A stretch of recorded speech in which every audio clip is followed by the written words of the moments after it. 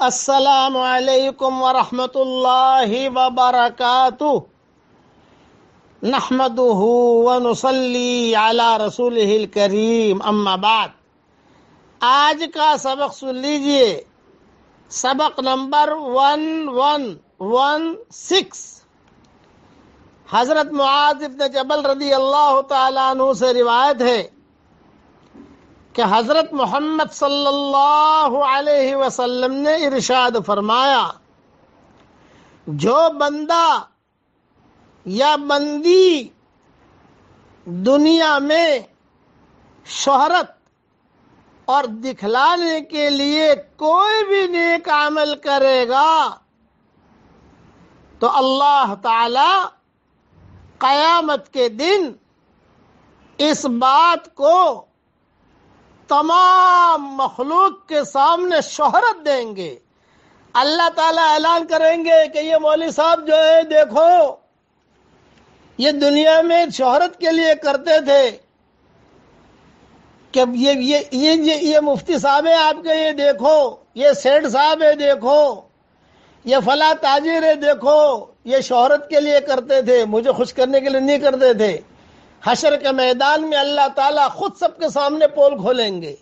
دنیا میں تو جو ہوگا وہ ہوگا، لیکن ایسے آدمی کے لیے حشر کے میدان میں اس بات کو تمام مخلوق کے سامنے اللہ تعالیٰ شہرت دیں گے اور کہیں گے، اعلان کریں گے کہ اس شخص نے نیک اعمال لوگوں کو دکھلانے کے لیے کیے تھے، جس کی وجہ سے اس آدمی کی بھرے حشر کے میدان میں بہت بہت بہت بہت رسوائی ہوگی۔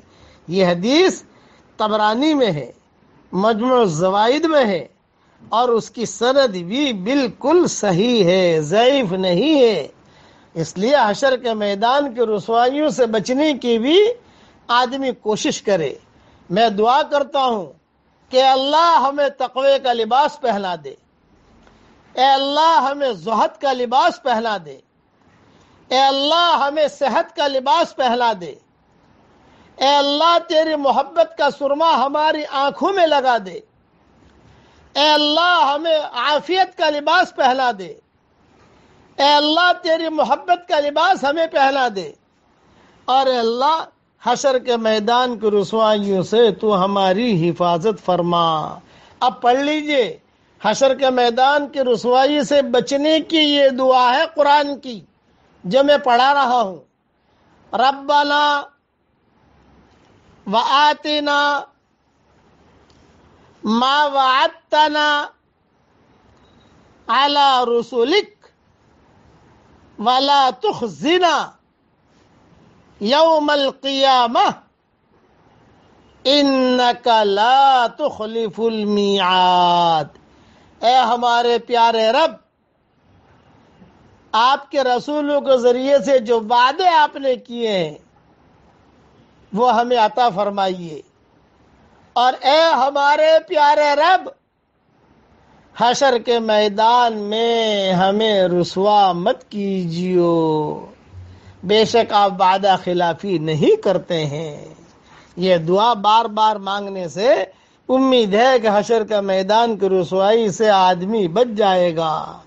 آج کل آدمی کو ایک جملہ یاد رکھنا، ہمارے والد صاحب رحمۃ اللہ علیہ بھی فرماتے تھے کہ آج کل جو مرد ہیں، ان کو پیر بننے کا شوق بہت ہوتا ہے اور جو عورتیں ہیں، ان کو آپائے بننے کا شوق بہت ہوتا ہے۔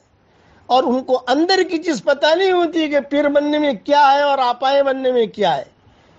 یہ اندر کی چیز اللہ جسے پیر بنائے، وہ اللہ اس کو نبھا دے گا۔ اور اللہ جسے آپا بنائے، تو اللہ اس کو نبھا لے گا۔ لیکن زبردستی چالاکی سے کوئی پیر بن گیا اور چالاکی سے کوئی آپا بن گئی، وہ محرومی میں مبتلا ہو جاویں گے۔ یہ ذہن میں رکھنا۔ اللہ تعالی ہم سب کی پوری پوری حفاظت فرمائے۔ آمين آمين. والسلام عليكم ورحمة الله وبركاته.